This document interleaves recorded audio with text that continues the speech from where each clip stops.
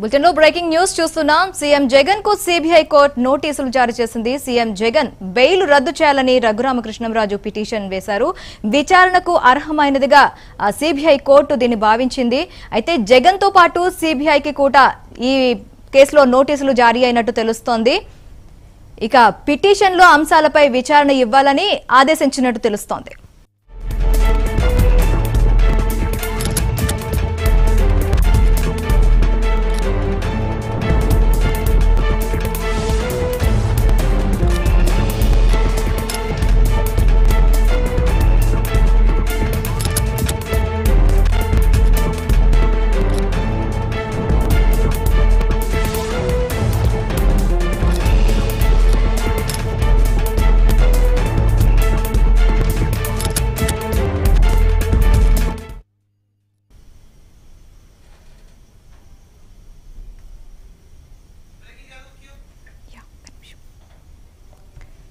CM జగన్కు CBI court నోటీసులు జారీ చేసింది.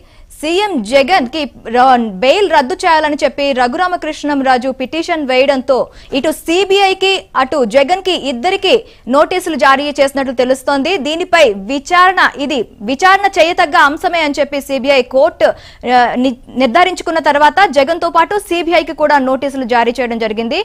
పిటిషన్లో అంశాలపై వివరణ ఇవ్వాలని ఆదేశించింది. ఈ కేసుని వచ్చే నెల ఏడుకు విచారణకు వాయిదా వేసింది.